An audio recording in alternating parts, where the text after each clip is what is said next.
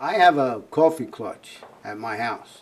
I think it went from four or five to 10 to 8 to 12 to 14 different guys. Every week it was always a different subject. The subjects were about politics, about religion, who's growing the biggest tomato, you know, who's got the biggest fig tree, you know, anything to get in an argument. They would say, John, why don't you start, why don't you start something out here? So they kept badgering me. They kept badgering, badgering, badgering. You can do it, you can do it, you're a leader, you always did this, you always did that. How do you put a festival together? Had no idea what these things are going to cost. Where am I going to get some kind of money? We raised $400 and put it in Roma Bank to start the Festival Association. A lot of people say, ah, you never get that thing off the ground. Are you kidding? You can't get a thing to stick together. We started this festival with 13 little stands. They had a little thing in the center there with music. It rained the first day. We had an Italian market tent. We had a band. We had the worst rides in history. The only people I could get to come there. Where is it? Where's West Windsor? Where, you know, where's the Mercer County Italian Festival? Nobody ever heard of it. Of course they didn't, right? But you know what? People came in the rain. A woman grabbed my hand in a wheelchair and thanked me the woman says, God bless you, John Scarpati, for giving us this festival. To me, the festival brings what the second and third generation are starting to forget. They, the, the famiglia part of this festival is right there and you see it right away. First of all, sons and daughters bring their mothers and fathers. Our mother and fathers bring their sons and son-in-law. And oh, I remember this and I remember that. It brings everybody together, not only Italians. It brings all all nationalities there. I have people asking me all the time that are different. When's the festival? When's the festival? We have Italian dancers. We have comedians. We have opera. We brought the Fountain of Trevi here that people could actually see what it looks like. It's a smaller version, of course, but it's still 30 foot long.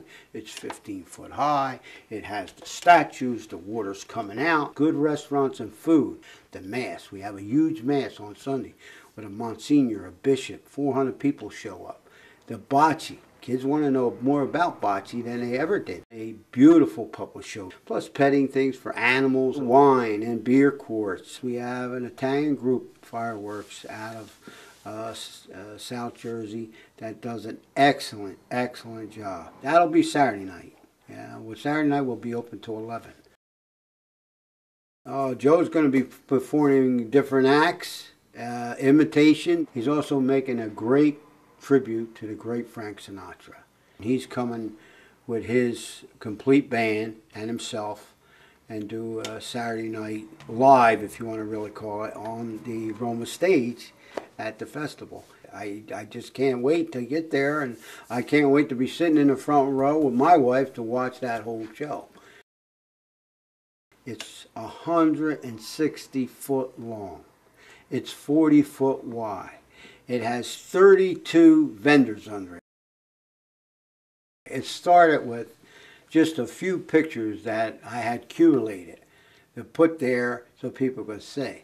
And then the more I thought about it, the more I said to myself, well, there's so many different things that Italian did. If we actually start collecting some of this, we could use it. Some of it came out of attics and cellars and, and uh, that people just had. We have over 500 pieces now. Leonardo da Vinci, they wanted to duplicate a plane it's going to be in the Heritage Pavilion this year. And it's going to show with the wings expanded. They're about 14 feet long with the wires and all of how he would actually sit in it. There's a variety of the food. You can start with bakeries. I mean, we're going to have four, four bakeries there. Uh, we will have the traditional uh, food that uh, people always talk about, you know, the zippolis and stuff like that. We're going to have delicacies, uh, people that are used to, uh, uh you know, the polenta, the mussels, the tripe, uh, uh, that they can't get anywhere. Well, first of all, we have a nice website now. and it's easy to get onto. So all you got to do is three W's: www.italianamericanfestival.com, and on there it'll show different links for whatever's happening at the festival.